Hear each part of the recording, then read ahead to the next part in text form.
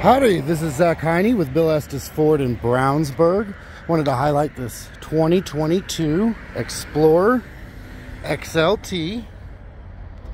It's in fantastic shape, like new tires. This is an Agate Black. This model has 46,000 miles, which means there is some remaining coverage from the manufacturer with regards to powertrain warranty. We also blue certified this model, which means that you will get an additional three months or 4,000 miles of coverage so that you can be confident that this vehicle is dependable and safe for your family. This XLT model is a really great compromise between some of the comfort features like leather seating, heated front row seats, dual zone climate control, that panoramic style sunroof there.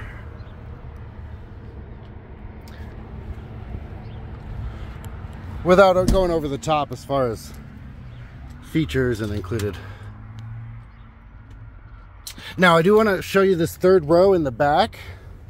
What's really unique about the Explorer model line is that it does have stowable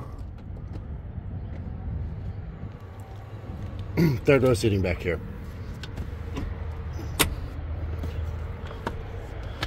You still have some pass-through ability because it is split in half, 50-50, um, without losing that extra extra butt space here. That middle seat will fold down, so if you had young ones in the back, car seat in the middle, that sort of thing, dogs often a really big one. They want to come see what's going on up front. So got some underspace storage there. It does come equipped with a tow hitch receiver. Remote start on the key fob. Rear parking sensors. Just in really great shape. Love to answer any questions that you have about it.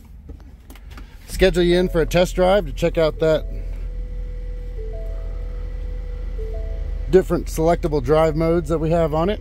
Android Auto, Apple CarPlay.